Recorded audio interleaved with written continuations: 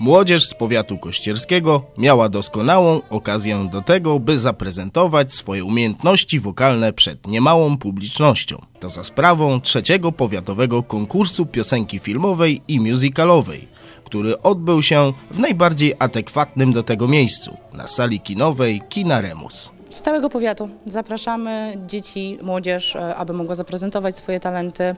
E, Mamy trzy kategorie wiekowe, tak? Kategoria 4-6 szkoły podstawowej. E, Mamy siódme klasy, ósme oraz gimnazjalne. I trzecia kategoria to szkoły ponadgimnazjalne. No i jeszcze spośród tych kategorii jakby wyróżnimy solo, duety i, i zespoły. Uczestnicy mogli wykonywać utwory zarówno w języku polskim lub angielskim.